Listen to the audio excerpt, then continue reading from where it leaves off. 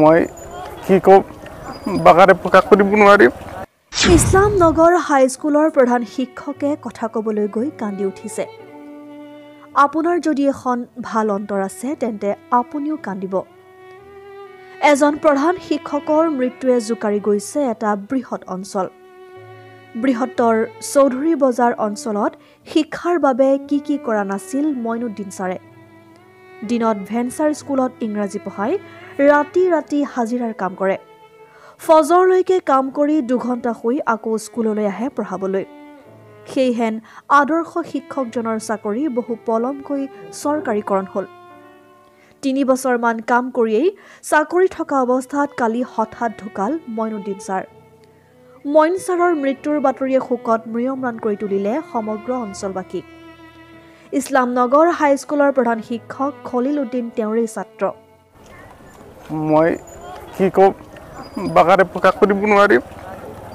ছাৰে বিগত বিগত সুদীৰ্ঘ বছৰ ভেঞ্চাৰ স্কুলত যি কষ্টৰে আমাক শিক্ষাদান দিছিলে আৰু তাৰ বিনিময়ত হয়তো আমি প্ৰাক্তন ছাত্ৰ হিচাপে খলিলুদ্দিন ইছলামনগৰ হাইস্কুলৰ প্ৰধান শিক্ষক হ'ব পাৰিছোঁ।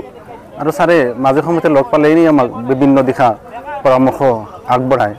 আৰু এই অঞ্চলত তেতিয়া আমাৰ প্ৰাইভেট স্কুলেই নাছিল এখনেই মাত্ৰ এই ভেঞ্চাৰ স্কুলখন আছিলে। পিছত কালক্ৰমে পৰ্যায়ক্ৰমে দুহেজাৰ তেৰ চনত এখন প্ৰাধিকৰণ হৈছিল আৰু পৰৱৰ্তী- পৰ্যায়ত তেখেত প্ৰধান শিক্ষকৰো দায়িত্ব গ্ৰহণ কৰিছিল। কিন্তু আমাক মাজে সময় পালে যি আমাক পৰামৰ্শ দিছিলে বা তেখেতে আমাক লৈ এটা গৌৰৱবোধ কৰিছিলে। মাজে সময়ে আমাক সোধে যে আমাৰ মস্তাক কেনেকুৱা আছে? তোমালোকৰতো একেলগে ওচৰতেই থাকে। প্ৰফেচাৰ বালি আছে তেখেতে প্ৰশংসা কৰে। যাই হওক আমাৰ স্কুলৰ পৰা একেবাৰে ছুপাৰ ফৰ্টিৰ ইনচাৰ্জৰ পৰা আৰম্ভ কৰি ইছলামনগৰ হাইস্কুলৰ প্ৰধান শিক্ষক শিক্ষক তথা এই সাংবাদিক আদিৰ দৰে বিভিন্ন শিক্ষক বিভিন্ন পদত অধিষ্ঠিত হৈ আছে। গতিকে ছাৰৰ এই গুণানুকীৰ্তন কৈ আমি শেষ কৰিব নোৱাৰিম।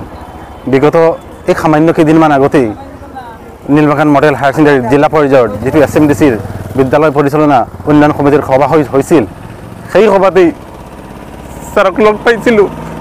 আৰু তেতিয়া ছাৰৰ শাৰীৰিক অৱস্থা সোধাত ছাৰে ক'লে হাতখন আগবঢ়াই মোলাকাত কৰি ক'লে খলিল মোৰ কাৰণে দোৱা কৰিবা শাৰ- শাৰীৰিক অৱস্থা ইমান ভাল নহয়। কিন্তু সেইদিনেই যে ছাৰে আমাৰ পৰা বিদায় মাগিলে আমিতো ক'ব নোৱাৰি। কিন্তু যোৱাকালি যেতিয়া আমি এই মৃত্যুৰ খবৰটো পালোঁ ফৰ্মাৰফাৰ হাইস্কুলৰ প্ৰধান শিক্ষকে যেতিয়া ক'লে খলিল তোমালোকৰ ছাৰ মইনুদ্দিন ছাৰ আমাৰ মাজত নাই বুলি এইটো এইটো খবৰটো ল'ব ল'বা সত্যাসত্য কি?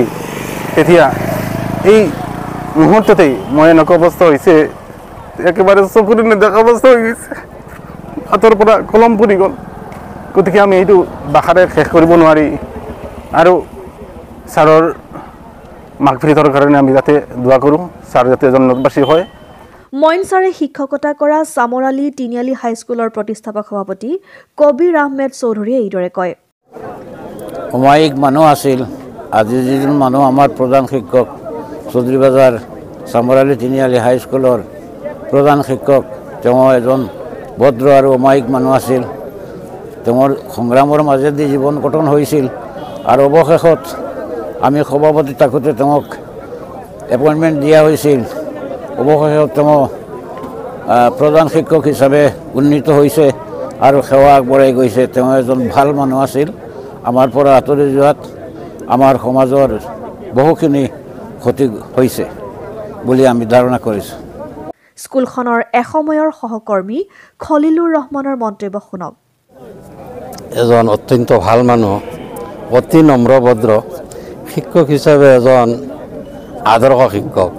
কিন্তু তেওঁৰ যিটো সামাজিক চাল চলন আছিল শিক্ষক হিচাপে ছাত্ৰ ছাত্ৰীৰ ওচৰত তেওঁ এজন আদৰ্শ শিক্ষক কিন্তু সামাজিকভাৱে কিছুমান মানুহে একে- একেবাৰে সাধাৰণ জীৱন যাপন কৰিছিল কাৰণে মানুহে অলপ বেলেগ ভাবিছিল। কিন্তু যিসকলে তেখেতক চিনি পায় অন্তৰৰ পৰা ভাল পাইছিল ছাত্ৰ ছাত্ৰীয়ে অন্তৰৰ পৰা ভাল পাইছিল। চামাৰালী তিনিআলি উচ্চ ইংৰাজী বিদ্যালয়ৰ আৰম্ভণিৰ পৰা তেওঁ ইংৰাজী শিকায় আৰু তেওঁৰ শিকা ল'ৰা ছোৱালী ইংৰাজী শিকোৱা শিকা ল'ৰা ছোৱালী আজিকালি মানে মাষ্টাৰ ডিগ্ৰী পৰ্যন্ত কৰিছে। আৰু আমি ব্যক্তিগতভাৱে মানে দুখ পাইছোঁ। আল্লাহৰ হুকুম আল্লাহৰ ফাইচলা মানিব লাগিব। গতিকে তেখেতৰ জান্নাত নচিব হওক, জন্নতুল ফিৰদাউছ আল্লাহ নচিব কৰক আৰু তেখেতৰ পৰিয়ালৰ প্ৰতি আমাৰ সমবেদনা থাকিল আৰু তেখেতৰ পৰিয়ালক চবৰে জমিল যাতে আল্লাহ দান কৰে।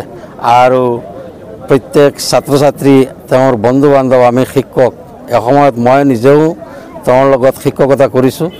গতিকে জীৱনৰ বেছিভাগ সময় বিনা পইচাৰে চাকৰি কৰি, মাত্ৰ আজি সাত আঠ বছৰৰ পৰা চৰকাৰী অলপ পইচা পাইছে আৰু বাকীখিনি জীৱন বিনা পইচাতে গতিকে তেওঁৰ এই যিটো সেৱা আল্লাহ যাতে কবুল কৰে আৰু তেওঁক জান্নাত নচিব কৰে।